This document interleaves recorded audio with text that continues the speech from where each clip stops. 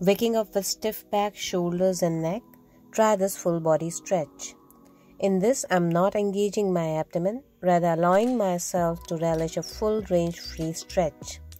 Arm position may demand extra balance, but this arm position helps a lot of people who feel pain in extending arms overhead.